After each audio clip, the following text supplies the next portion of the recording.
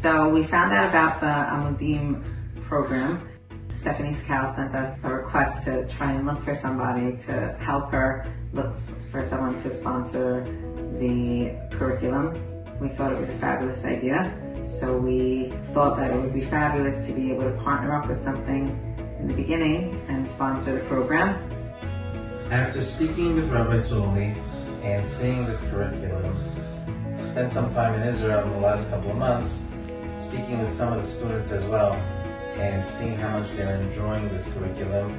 I think it's something that's really needed with all our boys and girls from the United States spending so much time in Israel and being alone so far away from home. I think it's a very important piece to the puzzle. It was really beautiful. I got so many text messages from students themselves um, who, when they got the their worksheets and they were working on it, uh, they all um, came back saying how it was the highlight of their day, their week, uh, and it was really just the beginning of scratching the surface with the program. So we're really so excited to see how much it's going to benefit these children that are there, and it's just going to continue to get better. We're very happy that we could be partners with the Amudim program, and uh, it should continue to grow.